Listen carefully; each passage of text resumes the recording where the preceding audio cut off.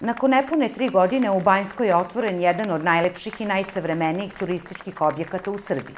Rajska banja je drugi veliki infrastrukturni projekat u opštini Zvečan, čiju izgradnju je finansirala Vlada Republike Srbije preko Kancelarije za Kosovo i Metohiju. Mogu sa ponosom da kažem da je ovo mesto za manje od tri godine od gomile šuta i ruševina postalo modern, vrhunski opremljen, veoma lep banjski lečilišni kompleks koji će poslužiti ne samo ljudima iz ovog kraja, nego koji, uveren sam, će poslužiti i ljudima iz cele Srbije i regiona koji žele da vide manastir Banjsku, zadužbinu kralja Milutina, koji žele da iskuse lekoviti karakter ove banjske vode.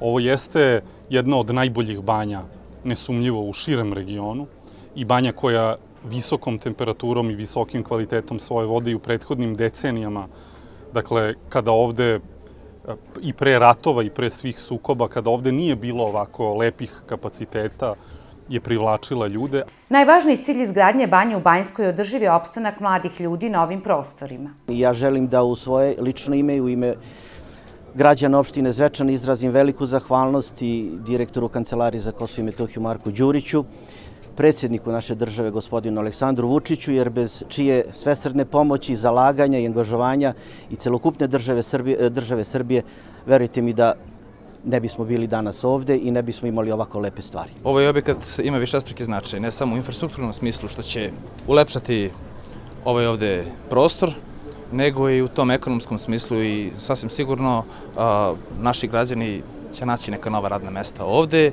i to morate se složiti da će biti najveći doprinos upravo ove banje.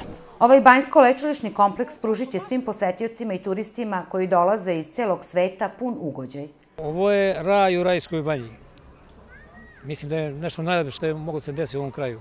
Ova banja je od izuzetnog značaja za sve žitelje, znači cijelo Kosovo Metohije, a i širek, tako da stvarno omogućava pre svega deci, omladini starim osobama lekovito dejstvo, a onda i pravo uživanje.